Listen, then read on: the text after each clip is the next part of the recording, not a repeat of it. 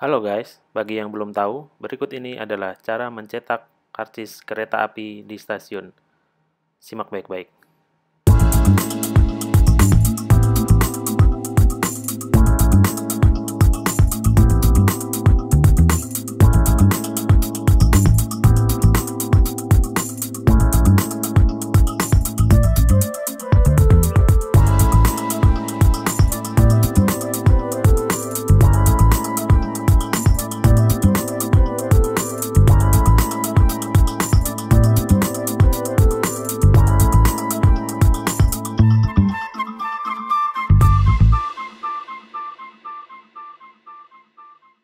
Bye.